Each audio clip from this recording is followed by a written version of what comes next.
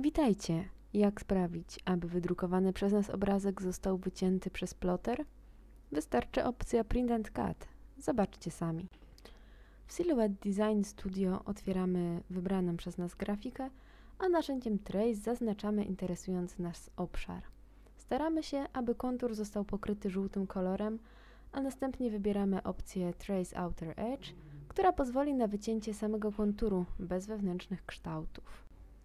Daną grafikę możemy również zaznaczyć własnoręcznie, korzystając z narzędzi po przeciwnej stronie ekranu, ale ta funkcja z pewnością pozwala nam zaoszczędzić sporo czasu. Aby nasz ploter mógł dokładnie wyciąć obrys, na naszej stronie powinny pojawić się znaczniki, które zostaną szczytane przez kamerę zamieszczoną przy ostrzu.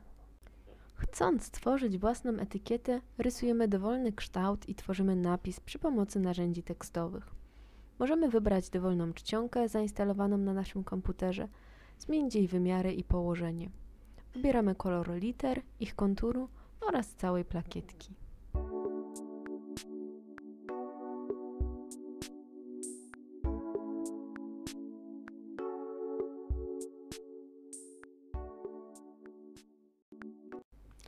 W opcjach wycinania widzimy czerwoną linię, która wyznacza linię cięcia.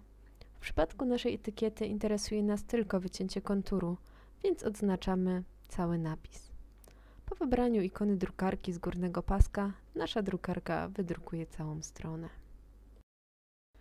Tak przygotowaną kartkę przyklejamy do maty. Ustawiamy ostrze na odpowiednią wartość, a w programie zatwierdzamy cięcie. Kamera przy ostrzu sczytuje znaki rejestrujące, by określić położenie kształtów, a następnie ploter zaczyna wycinanie.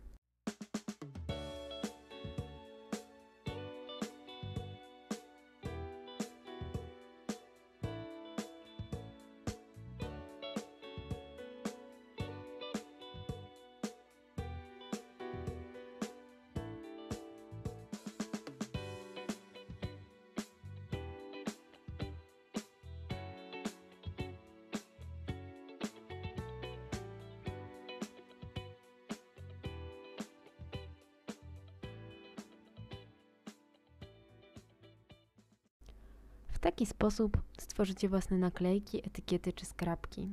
A po więcej informacji zapraszam Was jak zwykle do wycinarni.